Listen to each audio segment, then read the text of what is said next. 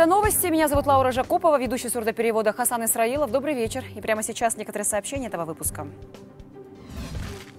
Станем ближе. Глава государства прибыл с государственным визитом в Узбекистан. Что обсуждают лидеры двух стран и какие соглашения подпишут, расскажем. Дело фараонов. Судебное разбирательство началось над известными вайнерами, обвиняемыми в создании и руководстве финпирамидой. И как по маслу едкая жижа затопила территорию Усть-Каменогорского маслозавода. Итак, Касым Жумар Тукаев прибыл в Ташкент с государственным визитом. Материал готовится сейчас к эфиру и выйдет чуть позже. Оставайтесь с нами. А сейчас расскажем далее. Тем временем мажилисмены одобрили несколько законопроектов. После долгих обсуждений и споров депутаты приняли такие, наконец, документ о восстановлении платежеспособности и банкротстве физических лиц. Ожидается, что воспользоваться процедурой население сможет уже в январе будущего года. Также народные избранники проголосовали за поправки в закон о здравоохранении. Теперь в стране сократят сроки уголовного наказания и размеры штрафов для врачей за причинение вреда здоровью граждан. Ну а самим пострадавшим будут выплачивать выплачивать компенсацию. Это станет возможным за счет внедрения страхования профответосветственности медработников. Размер взноса будет уже зависеть от риска той или иной профессии и в среднем составит от 6 до 70 тысяч тенге в год. Первое время оплачивать страховку будет госказна, а уже с 2025 года планируется перейти на солидарное страхование. Кроме того, в случае смерти пациента реальный срок заменят ограничением свободы. При этом глава Минздрава заверила, что качество оказываемых услуг от этого не пострадает. Остается статья за неоказание медицинской помощи. Э, э, туда не входим, никакие э, внесения изменений не будет. А также за халатность. Поэтому говорить, что это приведет к неоказанию помощи и халатности, это, я считаю, неправильно. Это отдельная статья, когда без умысла оказана медицинская помощь, но без умысла э, нанесен вред э, здоровью человека. Госсобственность Казахстана планирует вернуть промышленные активы. Премьер-министр провел заседание комиссии по демонополизации экономики, в частности, отдельных сфер оказания грузовых железнодорожных услуг. Алихан Смаилов подчеркнул, что по каждому случаю нужны конкретные результаты. Члены комиссии должны качественно прорабатывать озвученные на заседании предложения с учетом экономических интересов страны. Премьер поручил обеспечить качественную проработку решений комиссии в отведенные сроки. В стране выявлено свыше 5 тысяч владельцев недвижимости, которые сдают жилье в аренду. Из них свыше 1700, 700 в налоговых органах не зарегистрировано. Об этом сообщили представители Комитета госдоходов на брифинге, посвященном борьбе с теневой экономикой. Они отметили также, что пока действуют моратории, налоговые органы не могут их проверять. Но имеют возможность увидеть количество арендодателей в рамках контроля миграции иностранцев. КГД а, рассказали и о том, что 29 тысяч казахстанских чиновников до сих пор не не отчитались о своих доходах. О финансовых поступлениях госслужащие должны были отчитаться еще в сентябре. Их предупредили об ответственности. Напомню, всеобщее декларирование доходов стартовало в стране с 1 января прошлого года. Первыми отчитались госслужащие, приравненные к ним также лица и их супруги. Фактически было поступила декларация более 570 тысяч деклараций. Были факты не предоставления деклараций, те, кто должен был сдавать. Таких было 39 тысяч. Э, всем им были выставлены соответствующие уведомления. По итогам этих уведомлений данные э, налогоплательщики сдали декларации 10 тысяч, более 10 тысяч человек сдало. По остальным 29 тысячам сейчас выясняется обстоятельства. С нового года налоговые органы начнут контролировать мобильные переводы госслужащих и работников квазигоссектора. Об этом заявил представитель Минфина Данияр Жаналинов. С 2024 в этот список войдут индивидуальные предприниматели, а с 2025 года все казахстанцы. Но, к слову, речь не обо всех переводах, а только о тех, которые будут соответствовать определенным критериям. Информация в КГД поступит, если количество переводов в месяц превысит сотню. И только в том случае, если они будут повторяться три месяца подряд. Продолжаем выпуск. В Алмалинском В суде Алматы началось рассмотрение резонансного дела по факту создания и руководства финансовой пирамидой Мударабах Capital. Первое судебное заседание прошло в онлайн-режиме.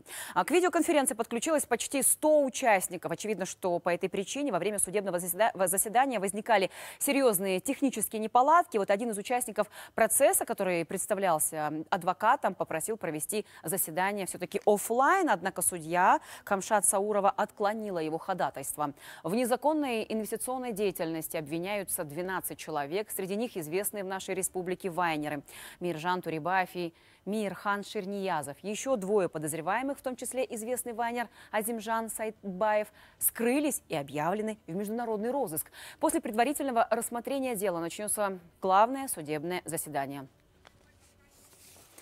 Ну и вернемся к тому материалу, о котором мы рассказывали в самом начале выпуска.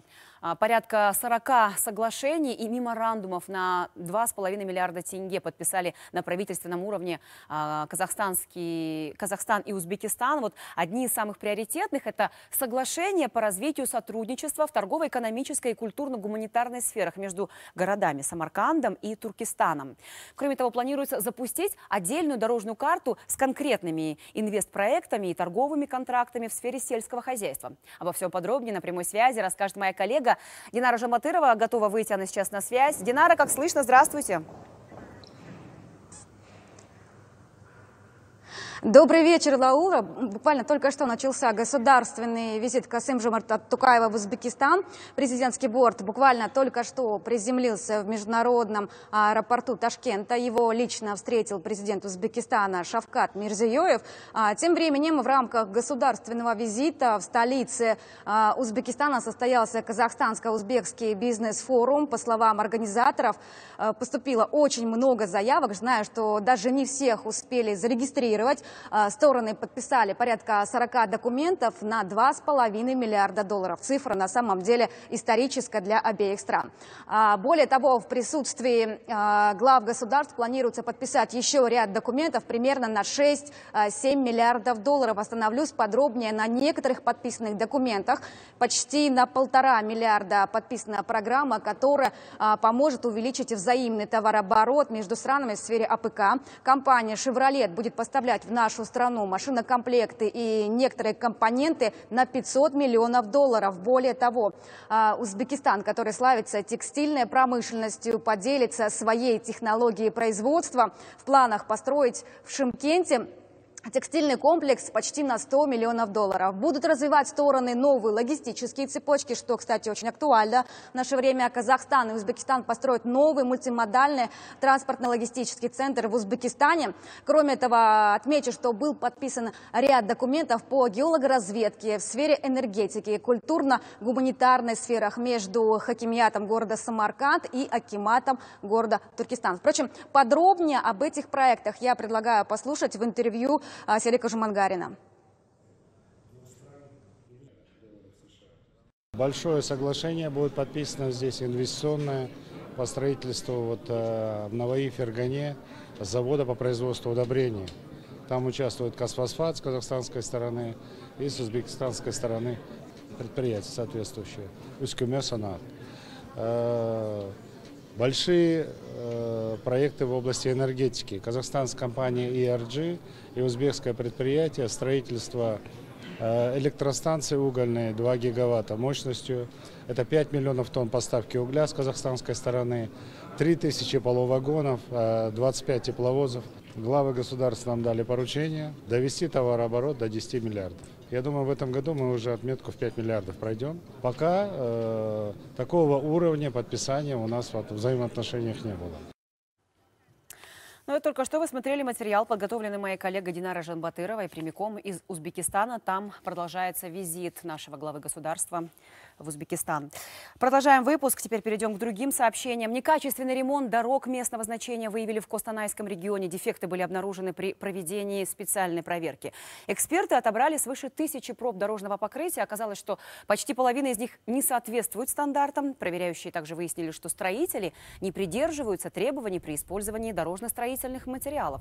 Именно поэтому асфальтное покрытие и железобетонные конструкции имеют массу дефектов. Несоответствие нормам имеется также и в некоторых пробах, которые взяты с трасс республиканского значения. Вот по итогам проверки подрядчикам выдали предписание и обязали переделать 29 тысяч квадратных метров дорожного полотна. Вся работа им обойдется в 270 миллионов тенге. Подрядчики зачастую бывают за, закупают э, более дешевый материал, что является некачественным в основном, наверное. А, вот. Где-то бывает происходит нарушение технологий производства работы, тем самым влияет, соответственно, также на качество.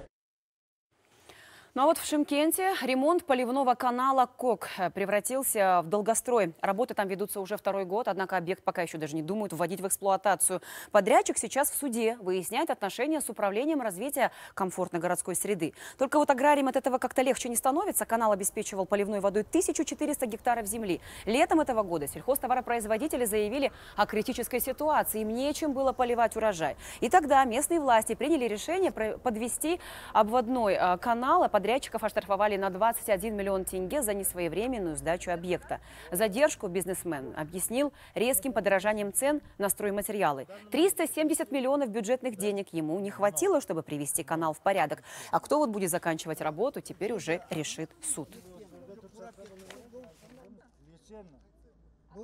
С осени же мы уже начали уже э, в суд отправлять.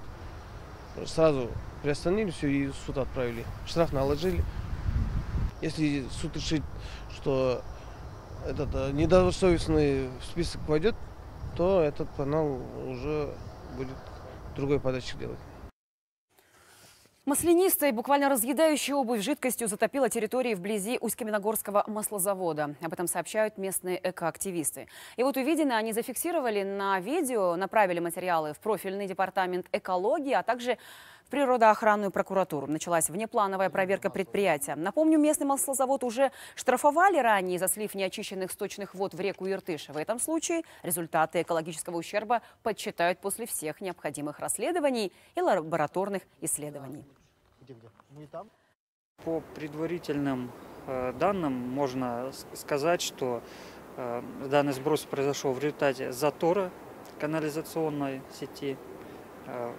Ходе которой то есть, произошел излив из колодца и была загрязнена эм, данная территория, участок. В прошлом году мы привлекали маслозавод за загрязнение рельефа местности, то есть опять же был, был э, канализационный коллектор, на 84-м году ушел из жизни видный ученый-философ, общественный деятель, депутат Мажилиса второго и третьего созывов Амангильде Айтале. Соболезнования родным и близким выразил глава государства. Я процитирую. «Имя и светлый образ Амангильде Абдрахман Улы, который оставил яркий след в истории страны, своим неустанным трудом способствуя ее процветанию, навсегда останется в нашей памяти», говорится в телеграмме.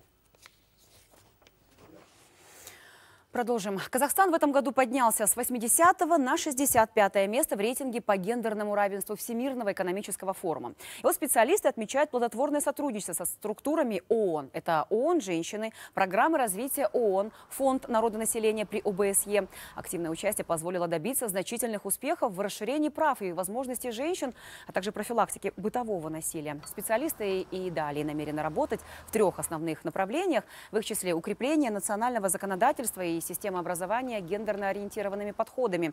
А также правозащитники выступают за исключение дискриминации женщин, расширение их экономических возможностей, ну и продвижение в политику. В прошлом году э, было принято прогрессивное решение Казахстана по полной отмене списка, который ограничивал применение труда женщин. И сегодня мы говорим о наличии разницы в оплате труда э, между мужчинами и женщинами где-то в э, процентном соотношении это 22%. Но тем не менее мы сегодня говорим о расширении возможностей и предоставлении равных возможностей мужчин и женщин в участии в, участии в общественно-политической жизни. В Астане продолжает работать первый Центральноазиатский медиафорум. На одной из панельных сессий эксперты обсудили вклад креативных индустрий в экономику страны. По словам экспертов, эта сфера деятельности считается а, одной из самых динамично развивающихся в мире и ежегодно приносит почти 2,5, ну, более 2,5 2 триллионов долларов. По прогнозам ЮНЕСКО, сектор креативной индустрии в среднесрочной перспективе может вырасти до 10% ВВП в мире. В Казахстане же ее доля в структуре ВВП менее 3%. Но в прошлом году была утверждена концепция развития креативной индустрии на ближайшие три года. Говорили на форуме также и о перспективах регионального сотрудничества. Основные выводы, э, сделанные на нашей сессии, заключаются в том, что роль международных организаций, тем не менее, она возрастает, потому что именно в рамках этих организаций возможно решение ответа на вызовы нашего времени, потому что именно они являются теми узловыми компонентами, элементами международных, международной системы, которые, в рамках которых возможно решение многих вопросов глобальных. Подробнее о работе Центральноазиатского медиафорума узнаете в нашем ток-шоу «Итоги» сразу же после этого выпуска новостей. И в завершение расскажем. В Казахстане пройдут 12 турниров Беркучи. Таковы планы Республиканской Федерации Кузбегалек на следующий год. Его утвердили активисты объединения на итоговой конференции. Они подвели итоги года. И вот лучшие Беркучи получили грамоты и подарки. Кроме того, члены Федерации обсудили проблемы этого вида спорта. Например, транспортировку пернатых на соревнования.